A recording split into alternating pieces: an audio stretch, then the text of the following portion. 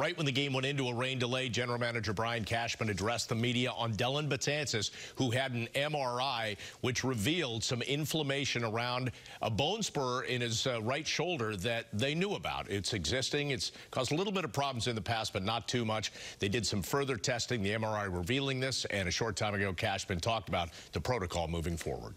The first protocol is to hit it with a very significant, uh, you know, uh, anti-inflammatory, which is a Medrol dose pack. So it's an it's an anti-inflammatory you take orally. Uh, hopefully that would have resolved the issue.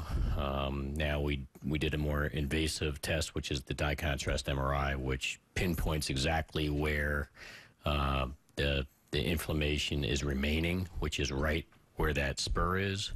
So the next protocol uh, would be hitting that exact spot, which will happen tomorrow via a, uh, it'll be uh, used with a sonogram that'll direct the shot right into the spot where the spur is, and that'll uh, uh, take place tomorrow. And there's optimism from our team physician that that will resolve the issue. Um, the only problem with that is it adds more time on uh, on the clock. Uh, he will be he'll have that injection of cortisone uh, localized to the exact spot.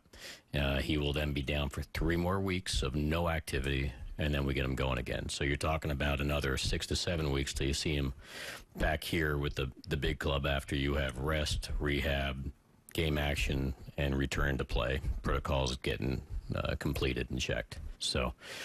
Um, it's a timing issue. Uh, a scale of, of good news versus bad news. It could have been much worse news. Uh, it's just, you know, phase uh, one or the first attempt of the protocol, which is the oral medication uh, that usually would take care of stuff like this, uh, you know, still hasn't resolved it fully. So now uh, phase two, after this more invasive test, is to localize it with that um, cortisone shot, and that'll take place tomorrow. So that's the Dellin Betances update. It obviously uh, adds to our list of of uh, injured players, but at some point we will get some or most of them back. All right, so yet another setback for Dellin Betances and the Yankees. You see what he's done and how much he's pitched over the course of uh, the past five seasons or four seasons. And so, Jack, uh, again, they take another hit, 12th player to this moment on the DL. And this is a big one because they needed that piece back in the bullpen. They did, Bob. I remember being in spring training down in Tampa when the Yankees first announced this injury. And Brian Cashman spoke about it. Betances spoke about it. And at that time, they were considering it a minor thing. They talked about it being a minor thing, and they thought Betances would get back early in the season.